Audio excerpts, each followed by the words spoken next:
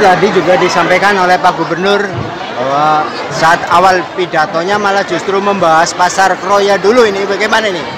Tanggapannya pertama saya sangat berbahagia sekali hari ini. Karena kemarin kita hampir lima hari itu dibikin spot jantung. Karena keinginan kami bersama warga masyarakat pedagang pasar Kroya berkeinginan sekali untuk bisa ketemu langsung dengan Bapak Gubernur Jawa Tengah Pak Ganjar untuk menyampaikan aspirasi kita untuk menyampaikan perjuangan kita selama ini untuk segera dibangunnya kembali pasar Koya supaya semua pedagang pasar Koya bisa berjualan kembali di tempat yang layak untuk mencari rezeki dan mencari. Artinya ini seneng ya Mas Lin ada Seneng banget, bahagia banget ini hari ini seluruh pedagang masyarakat Bogor berbahagia banget, berbahagia sekali. Jadi luar biasa lah sampai tidak bisa disampaikan dengan kata-kata bahwa ini adalah eh, momen yang sangat luar biasa sekali. Jadi dari momen ini kami berharap pedagang pasar Koya bisa menyelesaikan masalah kami pedagang pasar Koya untuk segera menyelesaikan masalah pasar Koya. Ya itulah respon positif dari Bapak Gubernur terkait eh, dengan masalah pasar Koya. Saya saya terima kasih sekali kepada Bapak Gubernur karena eh, beliau eh, seorang pemimpin yang sangat sayang rakyatnya dan kami yakin pedagang pasar Koya eh, hari ini apa yang kami cita-citakan apa yang kami minta kami perjuangkan selama ini eh, Bapak Gubernur bisa membantu. Oke terima kasih Pak Lihin mudah-mudahan dengan kehadiran Pak Gubernur Jawa Tengah Pasar Kroya pasca musibah kebakaran secepatnya bisa dibangun. Amin.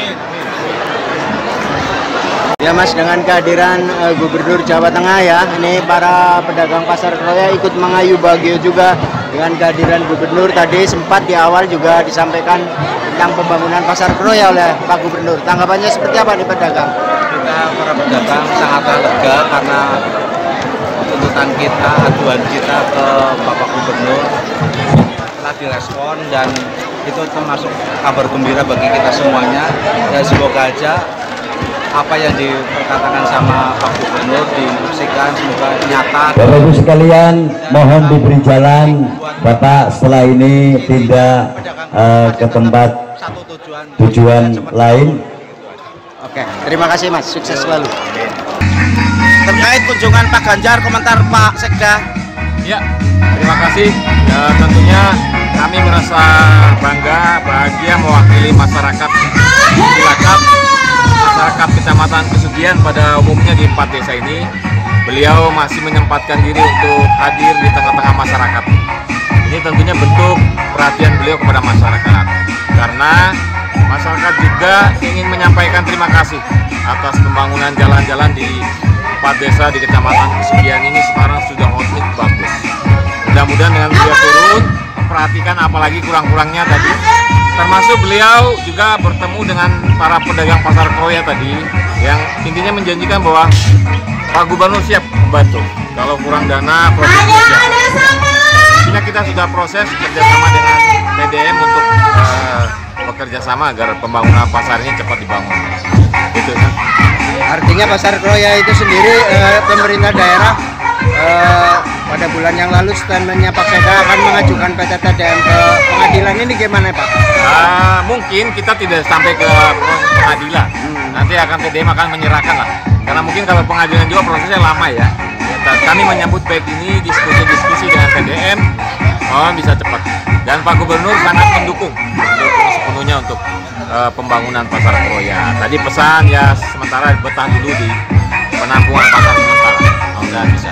harapannya Pak dengan eh, kemitraan antara gubernur dengan dalam hal ini pemerintah kabupaten dengan provinsi harapannya seperti apa Pak?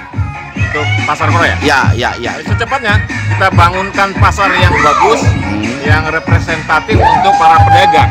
Ya, kalau ya. sekarang kan masih sementara, Oh, gitu. sehingga perekonomian masyarakat bisa bergerak cepat. Bisa bergerak. Oke.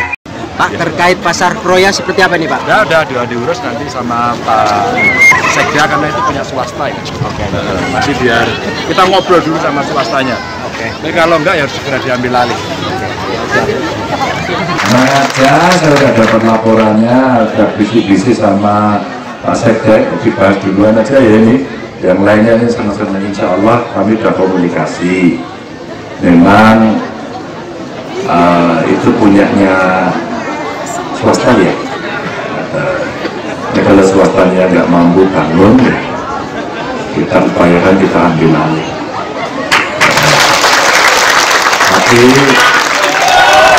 Tapi makanya tadi saya sampaikan dulu sama Pak Sekda, langkah-langkah dari pemerintah sudah diambil. Kalau memang nanti harus lewat pengadilan, kita lewat pengadilan. Siapa takut gitu. Gitu. Tapi ini kalau tidak pemerintah yang bangun, yang terjadi ya kadang-kadang begini, terjadi kebakaran, satu tidak diasuransikan, dua soal perawatan. Kalau sebenarnya eh, mereka merawat dan itu baik, kita semuanya juga senang gitu. Ya ada sih yang profesional seperti itu, tapi begitu ada problem sering kali waktu kita nggak siap itu tidak diasuransikan. Kalau itu diasuransikan sebenarnya eh, bisa diklaimkan asuransi sehingga karena swasta. Tapi kalau pemerintah kebakaran gini udah tinggal rapat sama DPRD ya Sekda ya, kita usulkan bangun. Kurang duit jalur gubernur gampang. Semoga pasarnya nanti bangun